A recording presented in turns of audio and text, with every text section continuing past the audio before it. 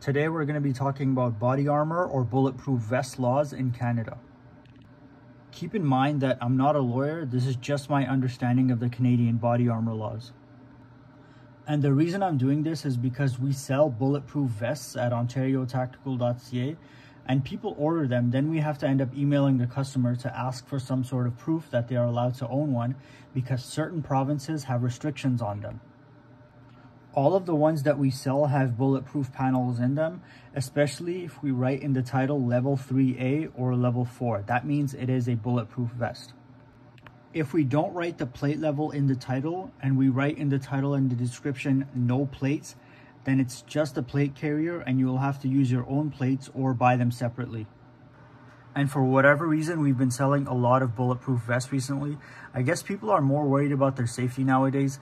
If anything, I thought people would be buying up all the 20 year shelf life food rations with all the food shortages going on, but everyone just wants the bulletproof vest.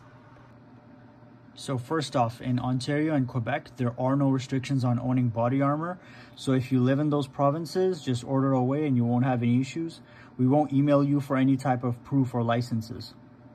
In all other provinces, you will need to either have a firearms license or a body armor permit, or you need to be part of law enforcement, be a private investigator, or be a security guard. Each province has their own rules on what you need to be able to buy a vest. If you're in a province other than Ontario or Quebec, you'll have to email us proof that you have the required license or permit to own body armor in your province. If you aren't sure about your province's laws, just DM us here or email us at ontariotactical at gmail.com. We have our email on our profile and on the website. For the USA specifically, we can ship to anyone in any state as long as you are over 18 and aren't a convicted felon. My personal opinion is whether it's the US or Canada or any other country, as long as you aren't a criminal, you should be allowed to own a bulletproof vest regardless of your job. There are even people who do pizza delivery, Amazon delivery, and many other jobs that require people to work in dangerous areas who would benefit from having a bulletproof vest.